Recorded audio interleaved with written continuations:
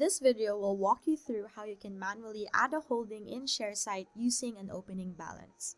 You can opt for this method if you don't have any trade data available to you.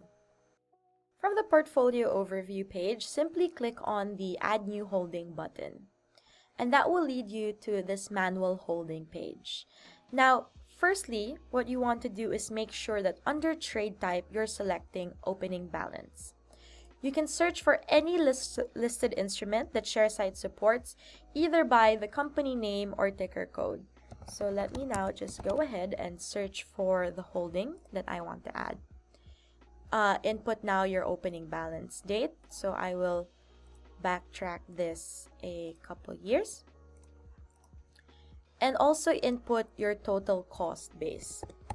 Just being mindful here to make sure that the figure that you're inputting here is in the currency as the tax residency portfolio that you've set in your portfolio settings.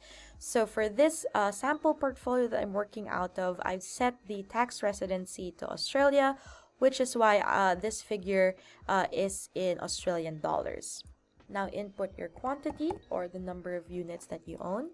And you can see here that Sharesight's made some calculations.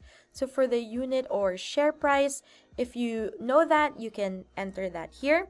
Uh, Sharesight also provides the end of day closing price, which is feeded by our data provider. So I'm just going to go ahead and click on that.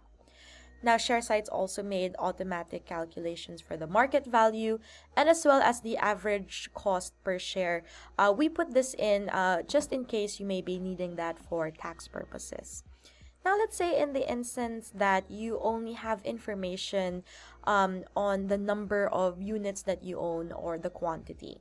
What you can do is copy paste the market value provided here and input that in as your total cost base what you can always do is log back in into Sharesight and edit any information um, that you've gathered from your share registry um, into that individual holding.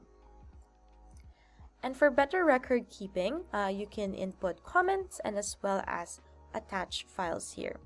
Once you're happy with all of the data and information that you've provided on this page, simply click on Save Trade.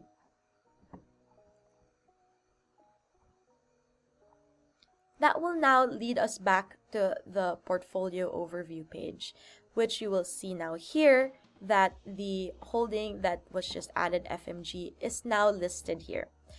Uh, will automatically populate the dividends as seen here.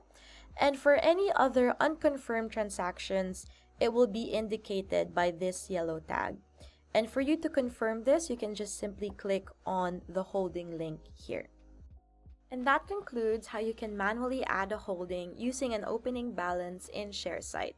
If you found this video helpful, don't forget to subscribe to our YouTube channel and hit on that notification bell to get notified every time we upload new videos. Don't forget to follow us on social media at Sharesight for more product updates and announcements. Bye!